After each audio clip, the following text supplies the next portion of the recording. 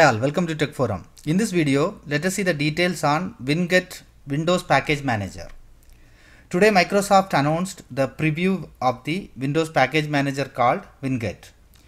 So because of this is a preview, uh, not all planned functionality uh, is available at this time. The Winget command line tool enables developers to discover, install, upgrade, remove and configure applications on Windows 10 computers. This tool is the client interface to the Windows Package Manager service. There are several ways uh, to install the Winget tool now. So maybe you can refer this document, the Microsoft document.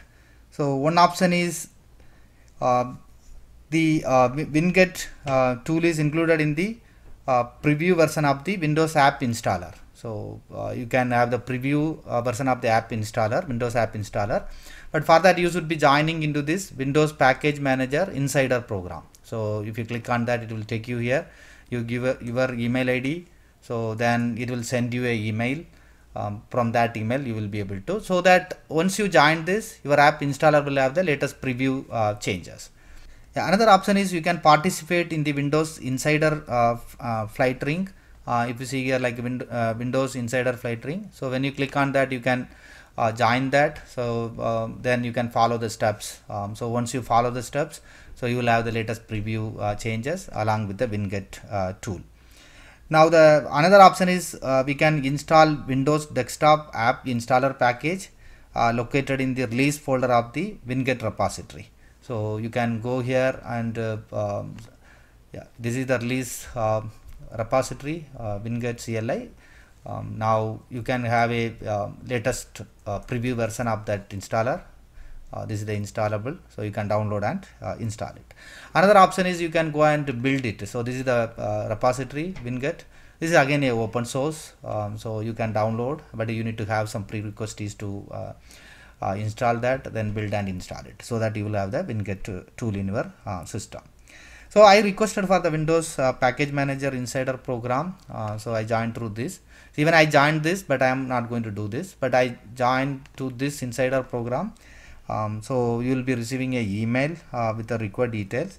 Um, so I received this email. So in the email they are telling like asking us to go to um, Windows key r then type this so that it will take you to the um, App Store. Then download the app installer latest one and you will be um, uh, all set with the Winget tool. But somehow for me, uh, the um, uh, the latest changes are not reflecting even after following this step. even I tried to install the latest version, but so what I'm I'm going to do is like I'm going with the desktop installer version. So whatever I shown here from here, I can download this. So but we need to keep a note here. The installing this package will give you the Winget client but it will not enable automatic updates from the uh, Microsoft store. So it's a one time. So you install, you will get the tool, but uh, whenever there is update, it won't. Um, so that is to to get the latest update, either one of the option will be the uh, right one. Okay, so I already downloaded this package. You can just download this from this folder. Uh, then install it. Once you installed you will if you go to any of the uh, command prompt uh, you will get to this tool. Like if you type it winget yeah you will get it.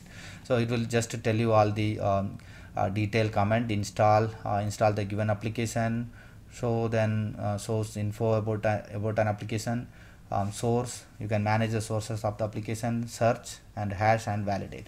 So these are all the option available. You, you even like if you type you can even type help so it will show you uh, the same uh, same details.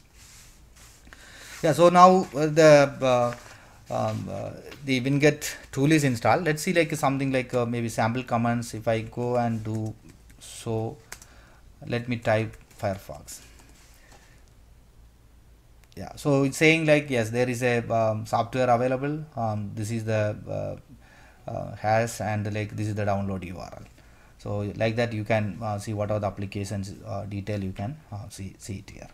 So another one is like even you can search so winget search. I'm going to search for maybe visual. Yeah it, it will list out all the matching softwares. I have like uh, visual studio then professional enterprise community like a lot of software related to that. Um, so it's listing out all the um, softwares then even if I do a winget search micro it will show all the Microsoft related uh, packages yeah.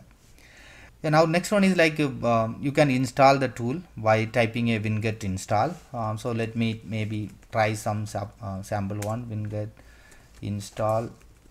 I will go with power toys. Okay you can enter. You, you should be having the admin access so it will download it. Then it will ask you the permission yeah it's installing. Yeah it is it will ask you the permission and I'm not going to give that I'm denying that.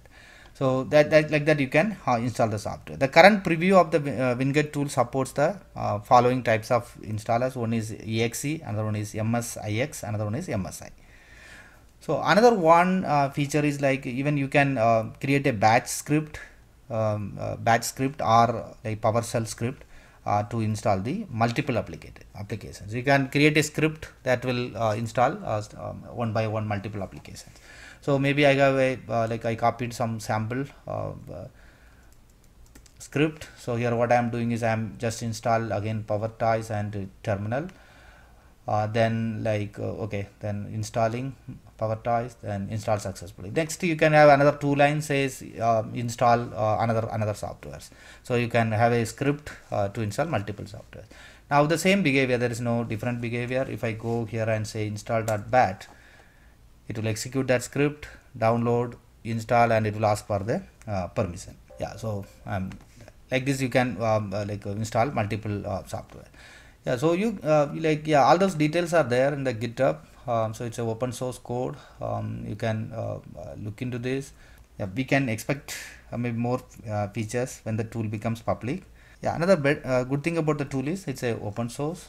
Um, so anybody can contribute. Yeah thanks all for watching the video. Um, see you in the next video